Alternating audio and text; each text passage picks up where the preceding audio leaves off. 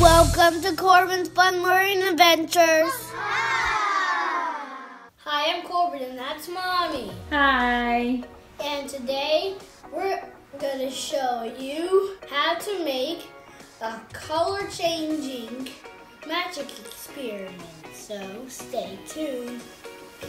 The first step is to fill these cups or jars with water until they're almost full.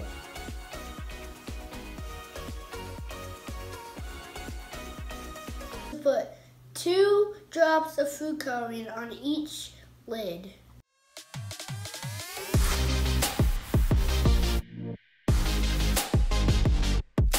Now we're gonna put the lids on the jars.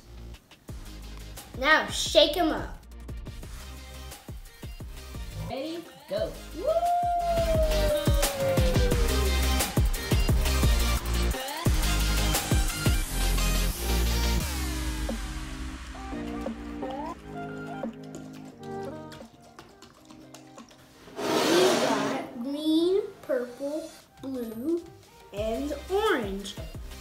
very fun experiment that will teach your kids about colors. Oh, there is this side.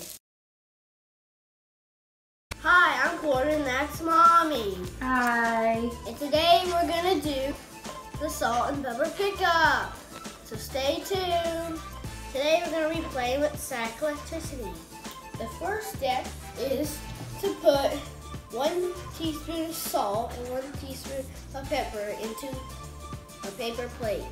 The next step is to blow a balloon and tie it like this. To charge up the balloon, I'm going to rub the balloon onto my fleece jacket like this.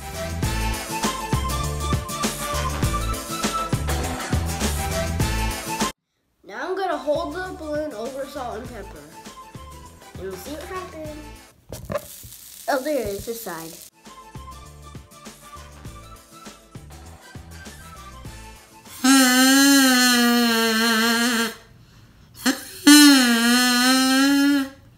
Sounds like some uh, elephant call.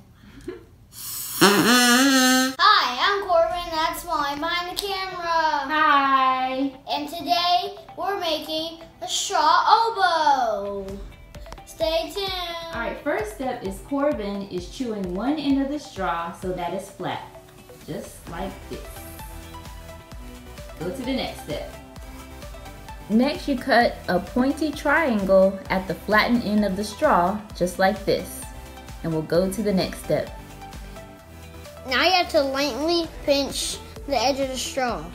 Now Corban is gonna hold the straw loosely in his mouth, the pointy end, and blow. Yes! Sounds like a duck.